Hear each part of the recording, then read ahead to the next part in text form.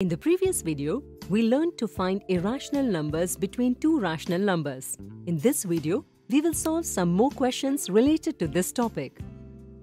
So let's take the first question. Find one irrational number between the rational numbers 1 by 4, 2 by 4 and 3 by 4. What to do first? We will first find their decimal forms by the division method. By solving 1 by 4 by the division method, we get 0.25. Would you solve 2 by 4 and 3 by 4 also by the division method? You can do that too. But 2 by 4 and 3 by 4 can also be written in the form 2, 1 by 4 and 3, 1 by 4. That is, by multiplying the decimal form of 1 by 4, which is 0.25, ones by 2 and ones by 3 we can obtain the decimal form of both, which will be 0.50 and 0.75. Now we have to find one irrational number between 0.25 and 0.50 and one between 0.50 and 0.75. This is quite easy. There is a big difference between the two numbers you can write irrational numbers starting from 0.3 or 0.6 in this manner. Now let's take the next question. Find two irrational numbers between 11 by 13 and 12 by 13. How will you answer this question?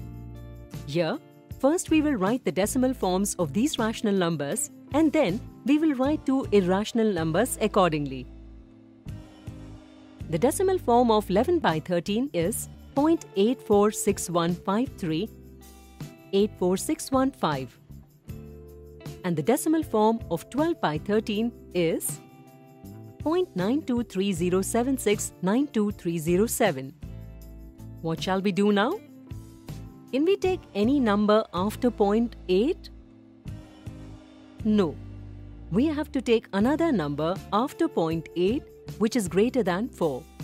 So after 0.8, we can either write 5 or a number greater than that to find a rational number because the next number is much greater than this.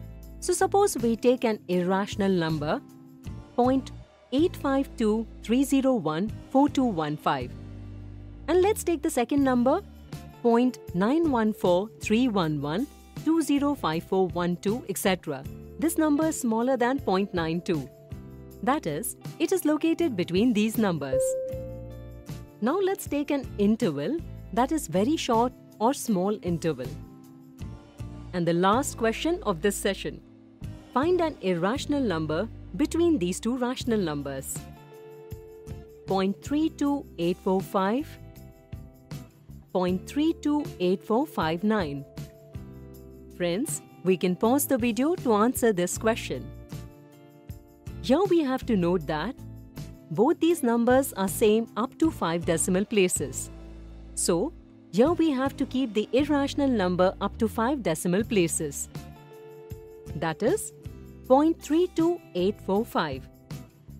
And since in the next number, 9 is present after the 5 common numbers, we can write any number from 0 to 8 and then add numbers which are non-terminating and non-repeating.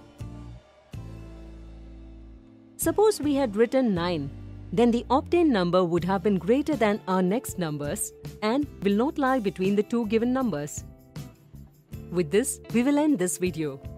In this session, we solved some questions related to finding irrational numbers between rational numbers. See you in the next video. Thank you.